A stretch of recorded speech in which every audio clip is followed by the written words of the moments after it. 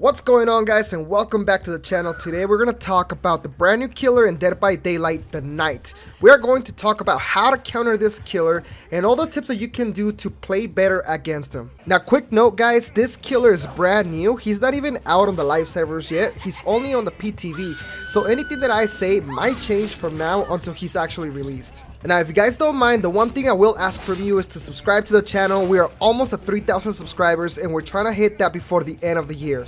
So let's get started guys. Anytime that we do one of these videos on how to counter a killer, we always start with the basics. This killer has a standard attributes. His movement speed is only 4.6 meters per second and his terror radius is at 32 meters. So basically his movement speed and his terror radius are just like the Trapper. His first perk is called Hubris. Whenever you are stunned by a survivor, that survivor suffers from the exposed status effect for 20 seconds. Now imagine this perk on the nurse. Kinda crazy. His second perk is called Hex Face the Darkness. When this killer injures a survivor, a dull totem will become a Hex totem.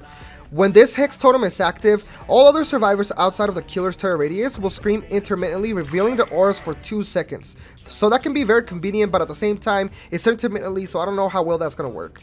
We'll talk about his last perk here in a second, but I want to give you the first tip on how to counter this killer properly. So you know when he sends one of his little minions to go and follow you, just like this fat guy here? The way he activates his power is by slamming his sword down onto the ground. When he does this, he also leaves behind this little banner that if you go to it and touch it, his minion will disappear.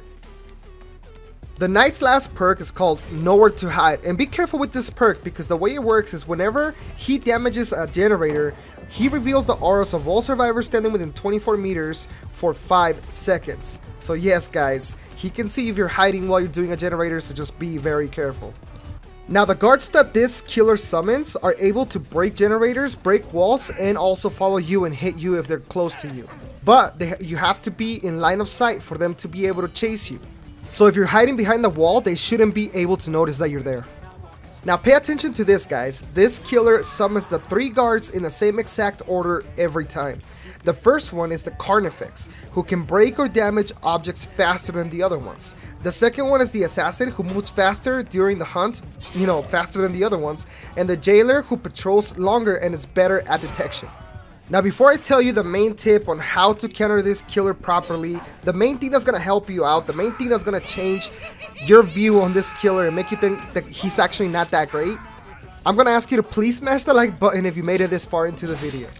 Okay guys, so here's the trick. This killer plays basically like the artist. And what you're gonna do is every time that he puts his sword down and activates his power, just hold W. Hold forward, just run away.